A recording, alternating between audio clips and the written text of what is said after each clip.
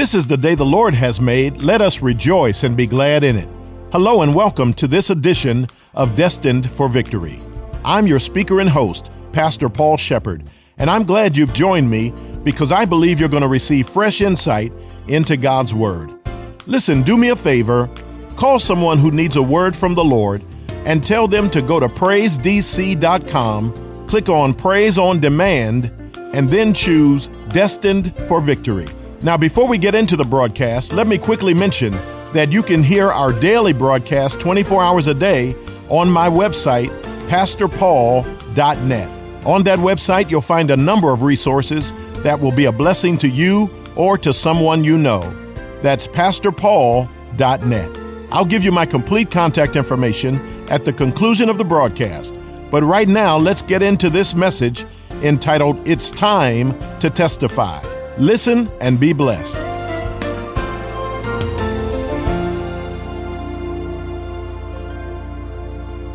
How did Joseph testify? He testified in two ways because each time the Lord gave him these two children, he was expressing his testimony by naming them. Look with me at what he did. He named the first child Manasseh. The name Manasseh means causing to forget. Causing to forget. And in the text, Joseph gave us his explanation as to why he named his firstborn Manasseh. He says, It is because the Lord has caused me to forget all my trouble and my father's household. Now let's park. Let's pull over and park here. I don't want to zoom by Manasseh. There's some gold that we need to mine right there. He named this child Manasseh, meaning causing to forget. And his explanation was the Lord has so blessed me. The Lord has so touched my heart and touched my life until I no longer remember the trouble of all of my past and all of my father's household. Now, think about it. Why would he name this child Manasseh if he forgot that he had trouble? Because the name means causes to forget. If the Lord gave him literal amnesia, he wouldn't remember that he had trouble. You don't call your kid, I forgot. If you don't remember there was something to forget. You missed that. Let me say that again. This boy was named causing to forget. God's caused me to forget all my trouble in my father's household. If he had literally forgotten, then he would never name the child I forgot. You wouldn't know there was something that you forgot. Are we all there? So, the glory of this naming, the glory of this testimony is not that I literally forgot, I didn't.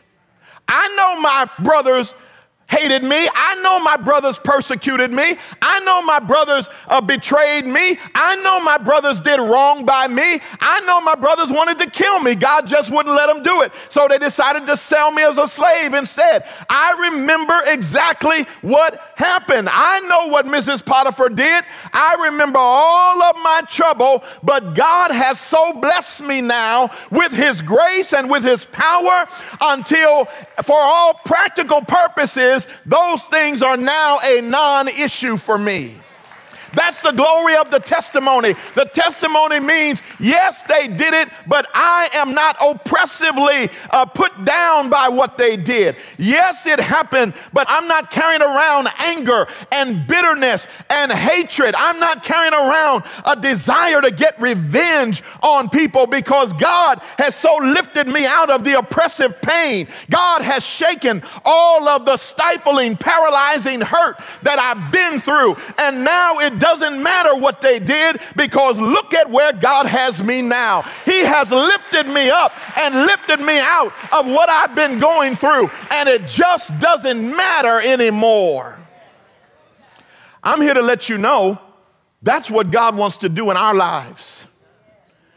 God wants to bless you so that the painful things, the oppressive things, the betrayal, the abandonment, the lies told on you, the people who have done you wrong, the people who abused and mistreated you, the people who uh, were out to get you. God wants to bless your life so that those people and their acts are no longer an issue. God will so bless you until you are able to release all of that and it is a non issue. And God intentionally doesn't want you to forget. See, a lot of times you see people say, well, we need to forgive and forget. The fact of the matter is, this naming suggests no, God could have given Joseph amnesia had he wanted to. He could give you amnesia if he wanted to. He doesn't want to do that. You know why? Because how you going to testify and you don't remember what happened? Testimony service rolls around, growth group says, anybody have a praise report? And you sitting there, nope. Why? Because you forgot.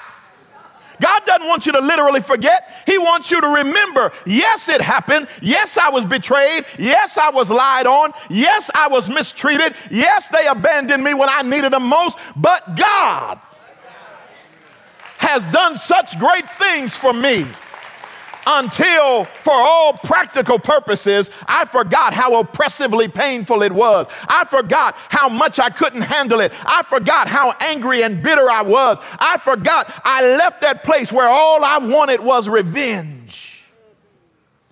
This naming is a testimony that God has taken this man to such heights until, for all practical purposes, what they did doesn't matter anymore. I'm here to let you know that's where some of us need to go. Some of us need to go to Manasseh. God wants to take you to that place where the things that happened in your past are only stepping stones, only components of a testimony that brings great glory to your God. See, here's what you got to understand. Until you get to that place, you have given all the power and all the glory to all the wrong people. As long as you're walking around saying, if it's the last thing I do, I'm gonna get all those jokers who have ever done me wrong. I'm going to get all the people who mistreated me, who abused me, who lied on me, who abandoned me when I needed them, who didn't raise me right, who didn't do this by me, who didn't give me that job, who didn't give me that promotion. All of the people who were my detractors and working behind the scenes to try to undo me. All the I'm going to get all of them. Some of us are carrying around an active list, a hit list now I know that. Listen, if you're gonna get this, uh, if you're gonna get this word, you're gonna have to be real. I know we, we look impressive, got your big Bibles, everything. But come on, let's be honest. You can be saved and full of a whole lot of stuff. You can be saved, but all you want is to get some folks back. And this word comes to say, God is able to do for you what he did for Joseph. He is able to do for me what he did for Joseph, which is to say, I am so blessed until I don't have to worry about what happened in my past because God has so overwhelmed that hurt. He has so overwhelmed those experiences until he's taken the oppression out of the pain and he has taken all of the anger out of my heart and he has given me hope and a future. And now I can think back on what happened without having oppression pain attached to it, and I can know that those were just stepping stones to my destiny. That's a work of God. That's a work God can and will do in our lives if we'll let Him. You see, if you don't get to that place when you're focused on your pain and your anger and your bitterness and your resentment and your desire for vengeance and what you consider justice, what happens is that ties you to your past. We are called, we are people of destiny. God's taking us somewhere. And you can't get there if you're tied to your past. You're like a dog on a chain wrapped around a tree trunk. You can't move. He can run. He's trying to get somewhere, but he keeps being pulled back. You ever live like that? You ever see something you want to get, but you keep being pulled every time you go for it? You're, you're pulled back. Why? Because you're tied to something that is behind you. I'm here to let somebody know God wants to break the chain. I said, God wants to break the chain. God wants to set you free. God wants to get you to a place where you're not jerking back. I really want to get somewhere in my life, but I keep have being pulled back. I wish I could get free. God says, I'm a chain breaker. I'm a chain breaker. I know how to get you free from what's tying you down. But in order to get there, you're going to have to do what Joseph did.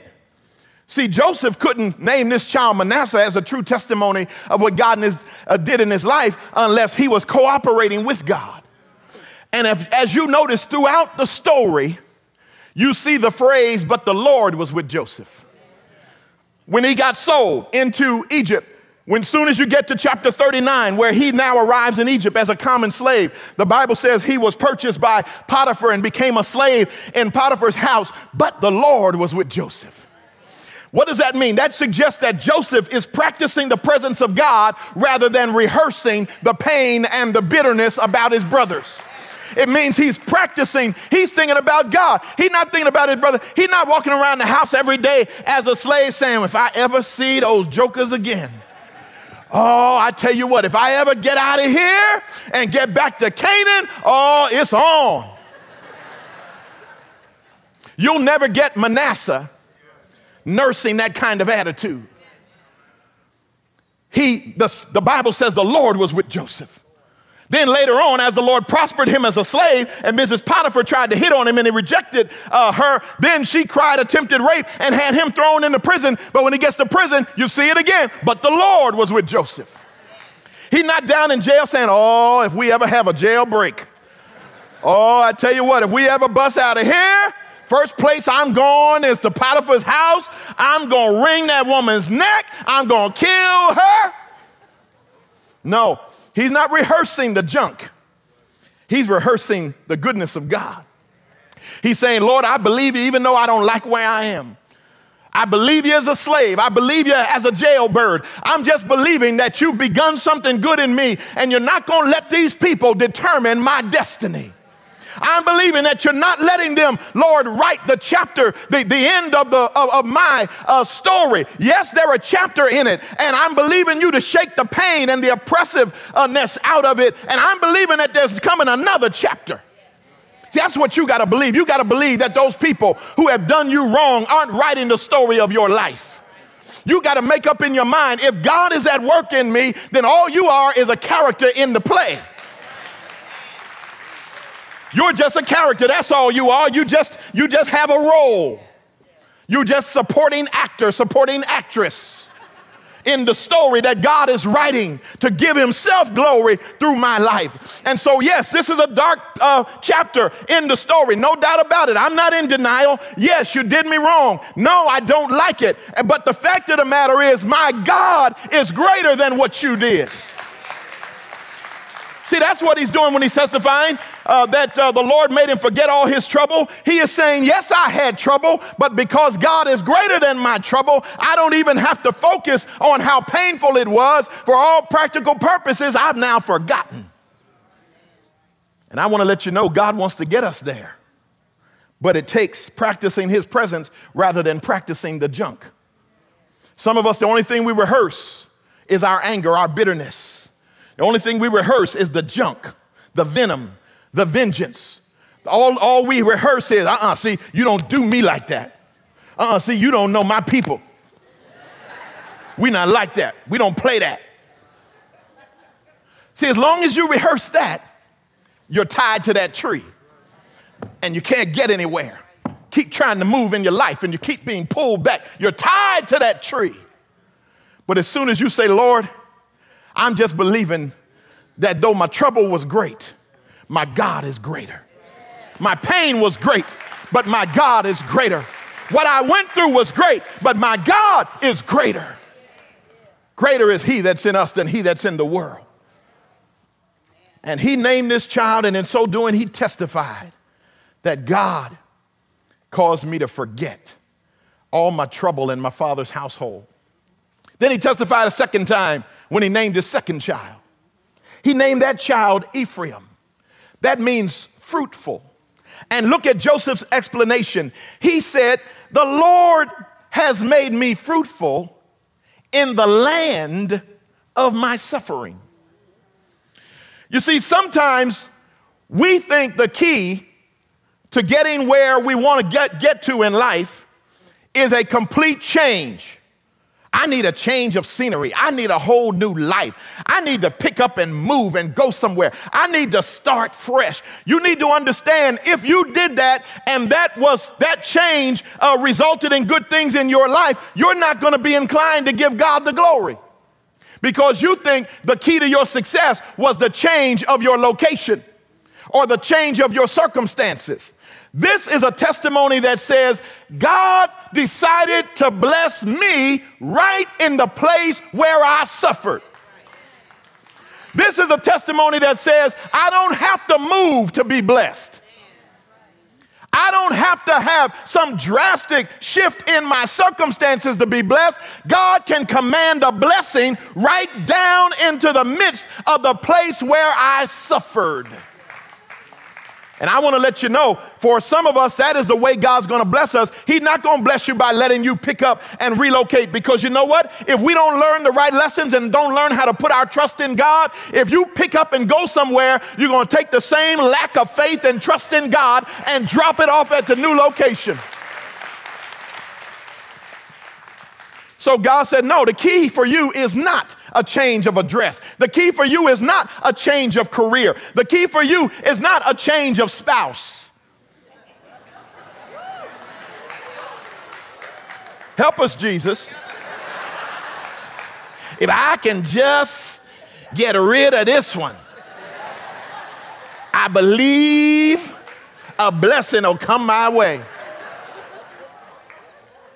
God says, no, because if you do that and don't understand who I am and don't let me play the, uh, bring you out into a place where you magnify me, all you'll do is take your same junk and plop it down in a new relationship. So God says through Joseph's naming of this second child, I'm able to bless you in the same place where you suffered. Same location the only difference is I show up and I command a blessing right where you suffered. Joseph, here's where you were a slave. Here's where life took you awfully low. Here's where you spent years in jail for a crime you didn't commit. Here's where you went through some awful changes. But right here is now where I'm blessing you. Blessings coming and going, goodness and mercy following you every day of your life. Now the Lord has brought you out into a high place and you're giving Him all the glory. That's what God wants to do in your life and mine right in the place where we suffered. God wants to show you you don't need a new job, you need my blessings on the job you have. You don't need a new marriage. I can, I can give you a new marriage with the same spouse. You don't need to hurry up and get your kids out your house. I can bless you with terrible twos running around. I can bless you with, with preteens running around. I can bless you. Look, watch this. I can bless you with teenagers in your house.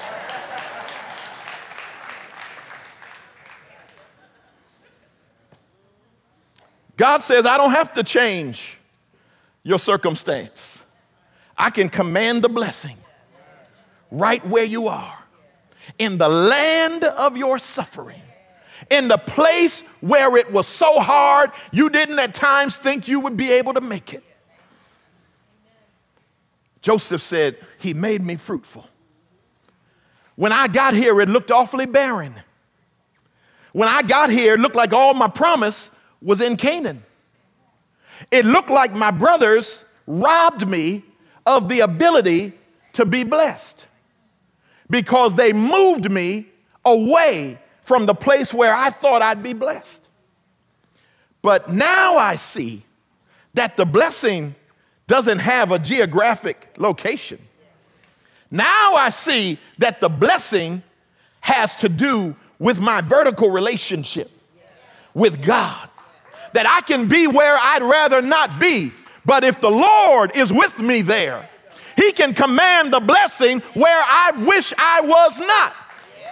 Look at how great this is. Joseph would have never seen the hand of God had he stayed in his comfortable environment in Canaan.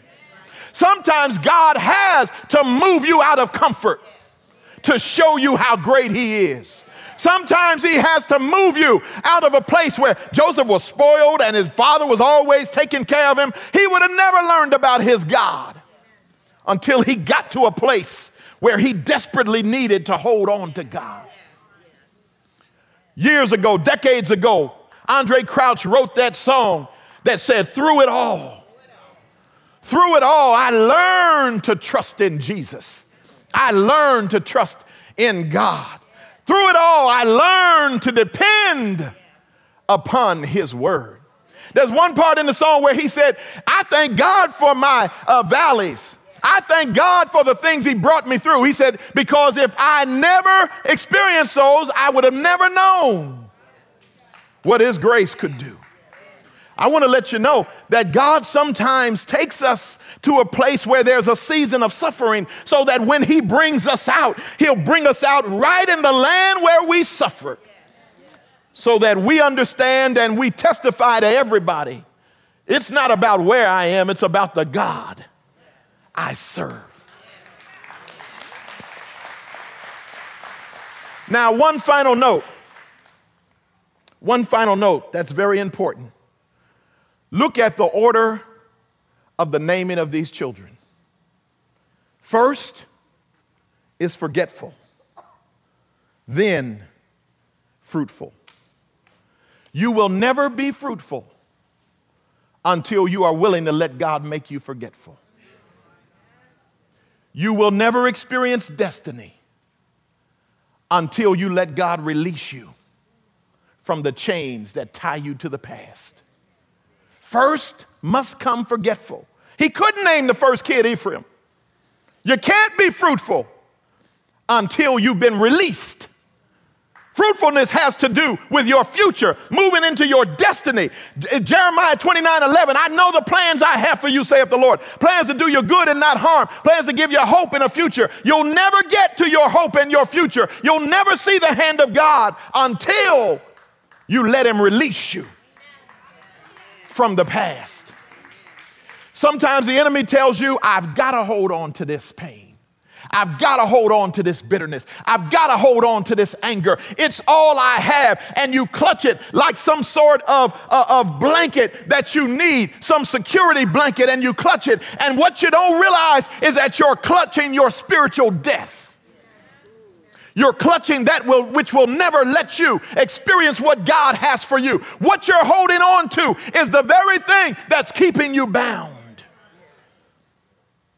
And so, first, we have to say, Lord, I give you full permission to release me from the oppressive pain, release me from my preoccupation with people Release me from my anger over the way I was raised. Release me from those people who did me wrong. Release me from that job that seems to be going nowhere and I'm mad at the bosses and supervisors and, and everybody. I need to be released, Lord. If you're going to get me into my future, I need to say goodbye to my past. God, give me that grace that allows me to forget.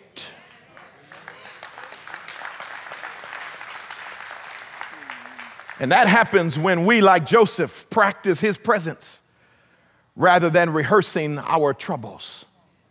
And if you'll let him, the Lord will give you a Manasseh. He'll give you the ability to forget. All you remember, because you can't testify if you have amnesia.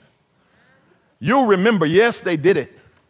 And later on in this story, we're going to see not only does Joseph remember what his brothers did, but years from now, when they show up, because the famine has hit Canaan, and they come to Egypt looking for food, and they bow before a man they don't even know is the brother that they sold into slavery, it's going to be extremely important that Joseph forgot. You see what's happening? God will not put your enemies at your feet until you have grace not to step on them.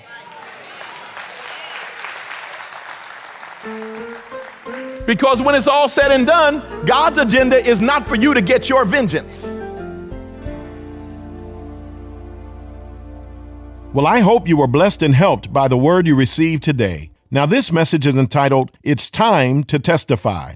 This message, as well as all of my daily broadcasts, can be heard 24 hours a day online simply by visiting my website, pastorpaul.net. You can even download them to your iPhone, Galaxy, or other smart device. In addition, you can browse our complete online store. Simply visit my website, pastorpaul.net. Before we go, let me say thank you to those of you who make these broadcasts possible by your faithful prayers and generous support. You're the lifeline of this media ministry, and we're grateful to God for you. And for all who get in touch with us this month with your gift of any amount, I'd like to send you my latest booklet entitled Preparing for Takeoff. In Romans chapter 12, the Apostle Paul says that it's God's plan for us to be transformed by the renewing of our minds. And in this booklet, I draw lessons from the process of metamorphosis and apply those lessons to our spiritual growth. I'm sure you'll be blessed by these insights, and I'd love to send you a copy of Preparing for Takeoff when you donate this month to help us continue reaching people everywhere through this broadcast ministry. Our mailing address is Destined for Victory, P.O. Box 1767, Fremont, California 94538. Once again, that's Destined for Victory, P.O. Box 1767, Fremont, California 94538. Or you can call us toll free at 855 339 5500. That's 855 339 5500. We'll look forward to hearing from you. Well, thanks for joining us today. I hope you'll tune in again next time and invite someone you know to tune in as well. Most of all, remember that he who began a good work in you will bring it to completion. In Christ, you are destined for victory.